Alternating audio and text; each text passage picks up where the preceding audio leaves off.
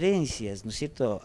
o, algo en común, ambos tienen nicotina.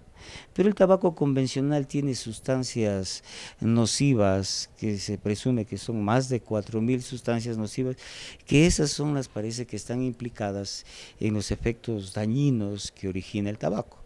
Obviamente el tabaco convencional no solo produce cáncer eh, a nivel del pulmón, produce cáncer a nivel también de otras estructuras y produce también no cáncer como son problemas de bronquitis o enfisemas pulmonares, fibrosis pulmonar, trastornos de, los dientes, eh, disminución de la atención, disminución de la memoria, porque la nicotina es un vaso constrictor y todo lo que me produce vaso constrictor me puede incrementar mi presión arterial, me puede alterar mi función digestiva. El vapeo, el vapeo tiene nicotina pero no tiene las otras sustancias nocivas, ¿no es cierto? La nicotina es un vaso constrictor, chicos, ¿no?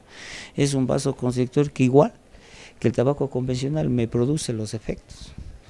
Sin embargo, sin embargo, en los actuales momentos se ve la tendencia de la juventud, de los adolescentes que tienden a estar con el tabaco este electrónico o vaporizador.